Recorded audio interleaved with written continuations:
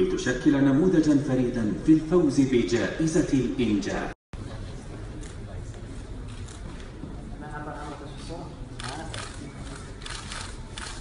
نبارك للفائزين بجائزة نبارك للبنك اليوم فوزه بجائزة كبيرة فئة المال والأغلاف من